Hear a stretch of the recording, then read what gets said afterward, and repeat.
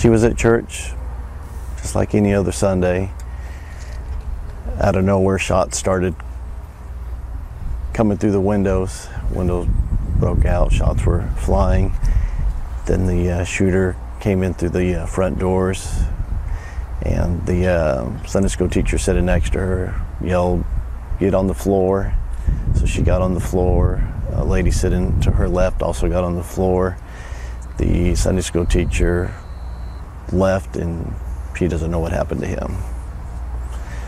The uh, shooter came in, into the church and uh, started shooting everyone, and people were running out of the out of the church, and she thinks uh, he was shooting them as they were leaving. She doesn't know how many people were actually able to, to get away. She does know that after people stopped running out of the church, he started walking around the church, going up and down the aisle, shooting everybody that was laying on the ground. And she said he he walked up and down the aisles quite a few times and made his way around the church and eventually ended up where she was, which is on the very back pew, and started shooting the lady next to her uh, multiple times.